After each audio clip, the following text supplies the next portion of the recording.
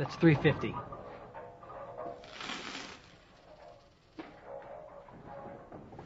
Thanks. We can never have too many nickels. Hi, I'm Johnson, the new bartender. Johnson, taking over for Larry the Thief, huh?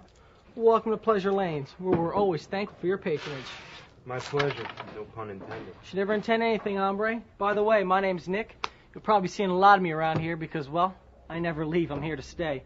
And with a little help from the tools of your trade, I won't even be able to find the door, even if I did want to go home. Well, I'll do my best. Hey, that's all we can ask, Johnson. Let's see, some things you ought to know. Bar opens up at 7:30. Feel free to get in whenever you'd like. All you have to do is get the key to the register from me, and it's right here. Bar's right over yonder, and the rest, mi amigo, is up to you. Thank you, Nick. Johnson. Hi, I'm Thane. Hi, Thane. Good to meet you. I work here too. Hey, this guy can bowl. Some quarters, please. Oh, yeah? Do you plan on joining the PBA tour soon? Someday, yeah. I don't know if you met Stone yet. He's another guy who'll be in here. I think he's currently wrestling with one of our occasional problems over in the game room.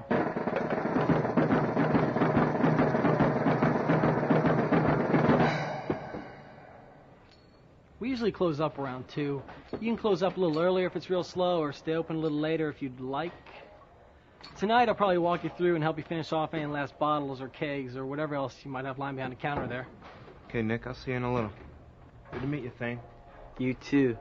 Me too. Oh, hey, Johnson. Just meeting Remind me you. to introduce you to Camille. Nice. She's over at the snack bar. Great girl, and she loves it here. I hate this fucking job. He was throwing french fries at you? Finally, his mother comes over and grabs him and starts shaking him and screaming at him. Yelling at him? Salt, please. I have to stand here with this ridiculous look on my face, like I'm ignoring them and pretending that I'm older than about six.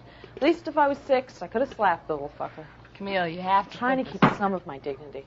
Not like I have any left after working at the fucking Pleasure Lanes bowling alley for the better part of my life. You gotta get out of this job. So how's school been? You know, the same. Higher education takes you where you want to be in life. Yeah, well, maybe that's what I need now then.